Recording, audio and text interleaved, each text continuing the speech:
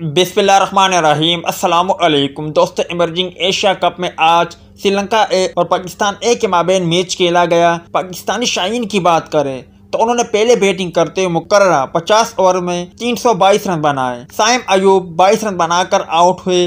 साहिबजादा फरान ने 12 तैयब ताहिर 26 कासिम अकरम 8 मोहम्मद आरिफ ने शानदार बल्लेबाजी का मुजाहरा किया। उन्होंने तिरयालीस गेंदों पर बावन रन बनाए। मुबशर खान रन आउट हुए। उन्होंने बयालीस रन बनाए। मोहम्मद वसीम जूनियर ने आखिरी लम्हात में सत्रह गेंदों का सामना किया, चौबीस रन बनाए। इस दौरान दो चक्के जबकि एक शानदार चौका लगाया। पाकिस्तान शाहीन की जानब से सबसे कामयाब बल्लेबाज उमेर बिन यूसुफ रहे। उन्होंने उनासी गेंदों का सामना किया, शानदार अट्ठासी रन बनाए। इस दौरान उन्होंने दस शानदार चौके, जबकि एक बुलंदबाला छक्का भी रसीद किया। 322 रन के हदफ के ताकुब में श्रीलंकन टीम पाकिस्तानी गेंदबाजों के सामने टिक ना सकी और यू पाकिस्तान ए ने श्रीलंका के खिलाफ शानदार कामयाबी हासिल की।